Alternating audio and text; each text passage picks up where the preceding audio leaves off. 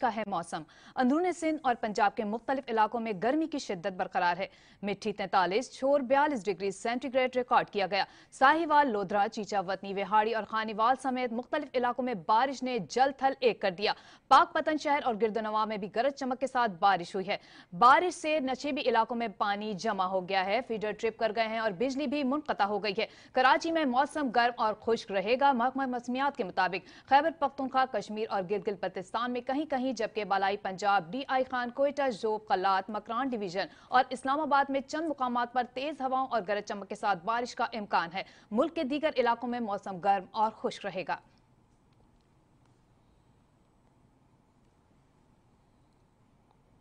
کراچی میں موسم گرم اور خشک رہے گا۔ محکمہ موسمیات کے مطابق خیبر پختونخوا، کشمیر اور گلگت بلتستان میں کہیں کہیں جبکہ بالائی Punjab D I Khan, Quetta Zhob Kalat, Makran division اور اسلام آباد میں چند مقامات پر تیز ہواؤں اور گرج چمک کے ساتھ بارش کا امکان ہے۔ ملک کے دیگر علاقوں میں موسم گرم اور خشک رہے گا۔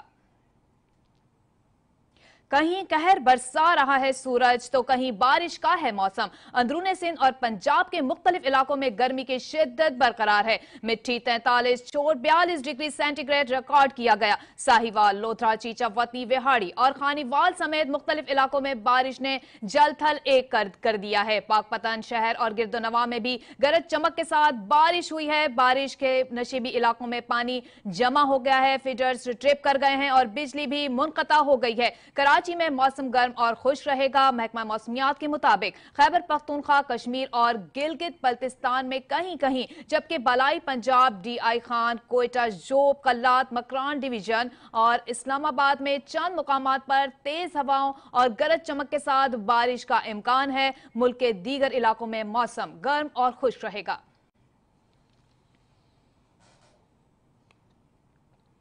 اور